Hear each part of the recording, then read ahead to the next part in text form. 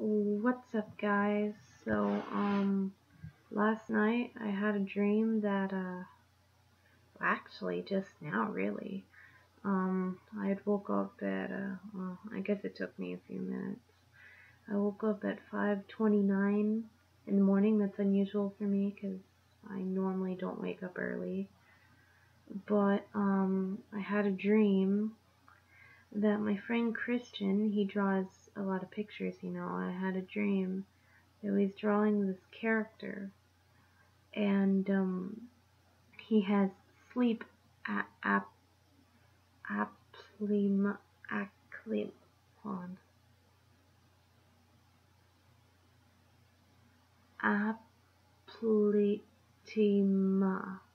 I can't even say it.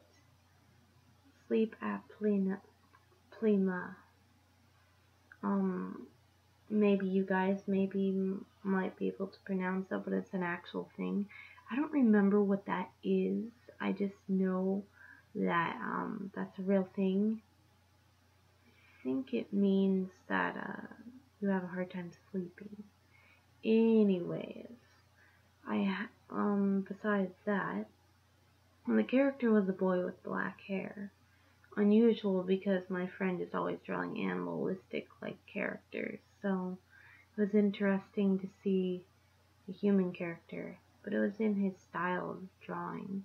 Anyways, besides that, next thing you know, I'm and and besides that I was in a dark bedroom too. I don't know where I was. Next thing you know, I see this um I, I go outside and I see this uh, cloud with a face, but it looked like something from the annoying orange. Like it had that weird, unrealistic, like face. And then I remember someone asking, "Who are you?" And he said, "I am God." Now, obviously, that wasn't God because God would not. First of all, he would not be a cloud. Second of all, um, no, just no, God's voice doesn't sound like that either, since I can hear God's voice. That cloud did not sound like Jesus.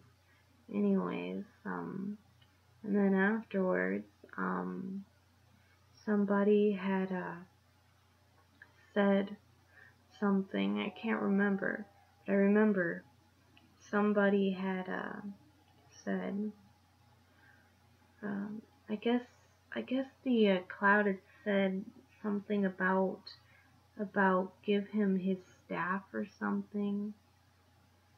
Uh, but then you see um, a trident being pulled out, and the girl, she she gets stabbed in the neck with that thing. Here's what I don't get: it was like so giant, but it's like stabbed her in the neck, and then something green started coming out slash It was just weird.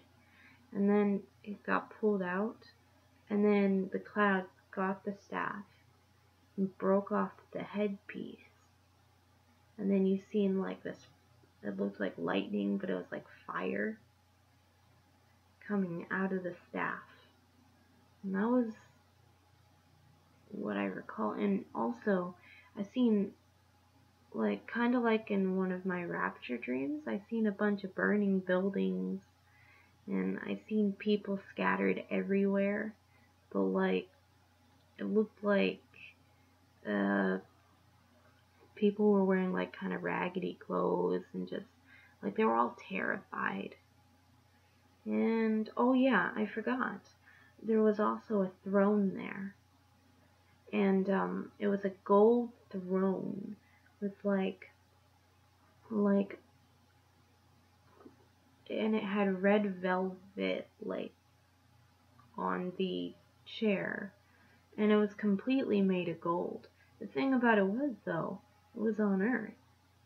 So I'm like thinking, I wonder if that has something to do with um I remember reading in the Bible about uh how the enemy, I, I, I'm going to take the guess this is after God has come for his children, you know. I believe that this is like for the tribulation, I had a, a dream that like there was someone sitting on that throne. I only got a quick glimpse, but like the first thing I noticed was the chair was empty. The next thing you see is like I can't, I could barely see it, but like it was a quick, quick glimpse of someone sitting on that throne and then disappeared. Didn't get a good enough glimpse though to really look at it. And that was it. That was my dream. But I feel like this dream has meaning. And why would I wake up at 5 in the morning? I'm the type of person who sleeps in till 10, till 12 in the afternoon, and yes, I have done that. So, it's unusual for me to wake up this early. So, you know, if God says wake, you wake. So, I'm sure He has a good reason for me sharing this. What do you guys feel this dream means? This is what I've gotten because this was what I dreamed. Um, the talking cloud was definitely weird. But anyways, what do you guys think this dream means? I love you guys and uh, hope you have a great day. But I honestly feel like this dream means talking about the tribulation time after we go. Anyways, I hope you have a great day. God bless you and Jesus loves you. And um um yeah. Also keep watch because Jesus Christ is coming soon. And you know, you never know when he's coming. We can still live, you know, our lives, you know, not not to say that, you know, we we can still do that, but our main focus should be on Jesus. Um have a great day, you guys. I love you guys. And yeah.